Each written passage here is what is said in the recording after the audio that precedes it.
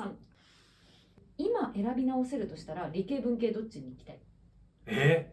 ー、今幸せなんで今のままでいいっすね。選び直す理由ないかな。また勉強すればいいかな。なんか 理系文系の話って好きな人いるじゃないですか、うんそうです。あれ好きな人ってでも大人になってから理系文系ってあんま関係なかったりするじゃないですか。あれ好きな人って僕の意見ですけどなんかめっちゃ自分は勉強したのにそれに見合ったなんか評価とか収入を得てないなって不満な人かもしくは自分より勉強してない人が自分よりなんか成功してるのが妬ましい人のどっちかなパターンが多いですよね。